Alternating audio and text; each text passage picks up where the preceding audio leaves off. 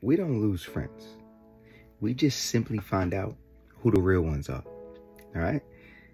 I want to know what is a real friend to you. Pause this video. Tell me what a real friend is to you in the comments. Because everybody has a different perspective what a real friend is. And that's your perspective. There's nothing wrong with that. What you might want from a friend, cool. But always ask yourself, are you that type of friend to that friend or to people? Always ask yourself that because we expect things from people or expect people to be a certain type of person and you're not even that person. You're just looking for somebody to kind of replace what you're missing. No. A real friend to me is going to tell me what it is, especially when I'm slipping.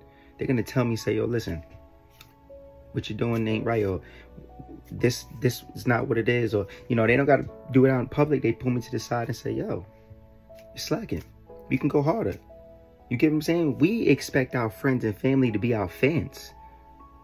What? Do you even know what a fan is? A fan stands is short for fanatic. Why would you want your friend or family to be, even be like that? Can they support in different ways? Great.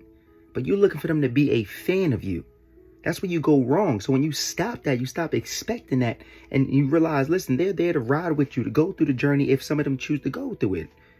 But some some won't because you're expecting all of this extra credit from them and this and that, and they're supposed to do this, but you expect your fans just to play something of yours or just to show up one time and cool their fan. Come on, listen.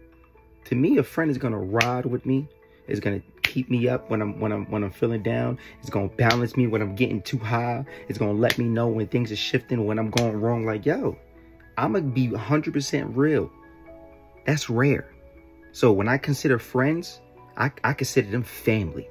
And that circle is small, but they expect me to do the same for them. And that's what I love about them. What's a real friend to you?